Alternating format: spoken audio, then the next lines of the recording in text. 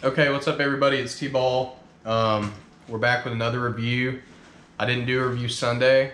Uh, I don't think I'm gonna do reviews on Sundays. Sundays are usually pretty busy for me. Um, and Ernie has claimed Saturdays. Apparently you guys really like that. That seemed to have been a big hit. So we're gonna let him keep reviewing stuff on Saturdays. Um, first I wanna say thank you for all the subs. Thank you for watching and thank you for clicking the like button. Uh, it helps a lot. Um, maybe one day we'll get in one of those algorithms and have a lot of views on one video. I don't know. Maybe one day. But let's get into this review. So today I've oh whoops. Today I have got the Engel Super Camo Cooler. I think that's the name. Uh, this is about $150. I got this for Christmas. Uh, I did not pay for it. So that's really nice. Um, but overall, this cooler does really great for me. Uh, I like it a lot. Um, but yeah, let's go out there and, and have a have a look at this cooler and uh, let's see what you guys think about it. Okay, so we got the cooler right here, the Engel Super Camo Cooler, something like that.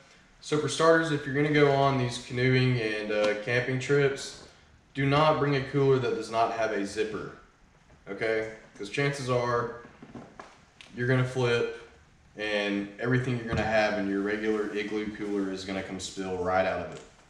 So get a cooler that zips. You're not gonna lose anything that way. Um, so the zippers on this, they're pretty durable. I'm pretty sure they're water resistant, so they're not gonna let water in. Uh, at least not too much. It does have a small opening right here.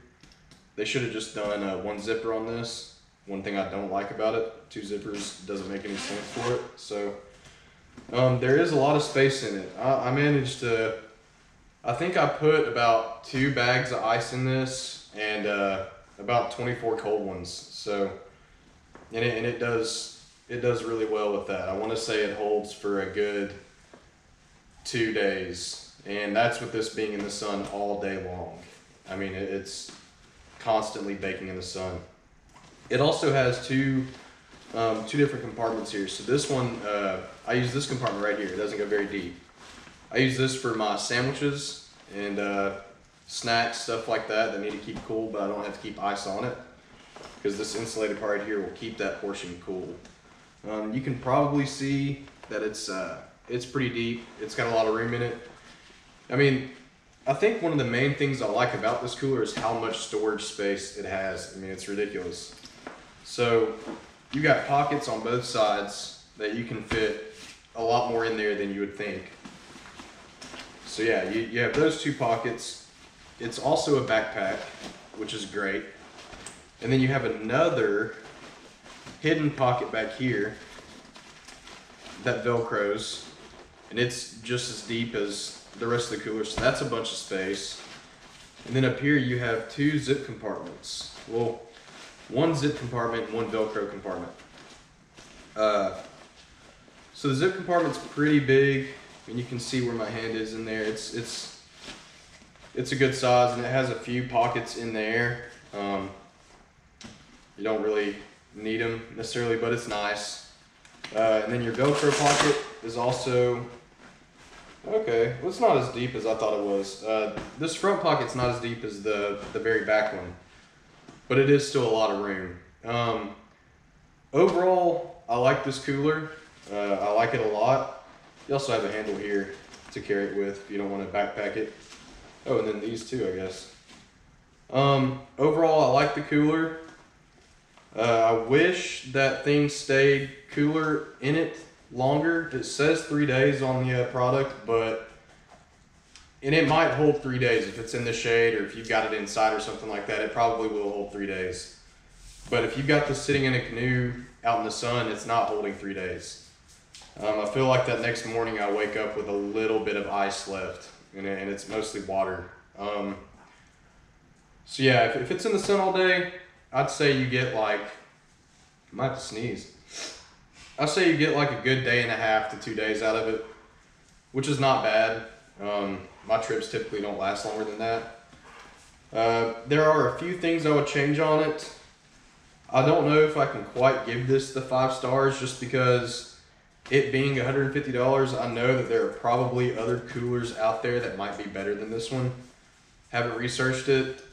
Like I said, I got this for Christmas, so I've never had to go out and get a cooler. This has lasted me, I want to say I've had it for at least three or four years now, and it's done me really well. So I can't complain about that. It's durable. It does pretty good. Uh, so overall, I would probably give this a good four stars. I think, honestly, I, I mean, it it does exactly what I need it to do. So it works for me, and that's great. So if you like this and you think this is something you'd want, you should go buy it. Okay, let's do the outro for this video. Um, overall, I like the cooler a lot. Uh, I can't give it a five star simply because I think there might be better coolers out there for $150. Do I know that? No, I don't. I haven't done the research. I have no reason to. The cooler I have works great for me. Um, you should definitely have a cooler if you're going to go canoeing, especially if you're going to stay over the night. Um, it's pretty much essential, so I figured I should cover that. Um, so yeah, I'm, I'm glad all of you guys are still watching. I'm glad everybody is still subbing and uh, still liking the videos. I'm not sure what I'm going to review tomorrow. Um, I've got a pretty good idea. Uh, it might involve some labor, so maybe you guys can look forward to that. Um, but yeah, I hope you guys enjoyed the review. Four star review. And uh, yeah, you guys have a great day.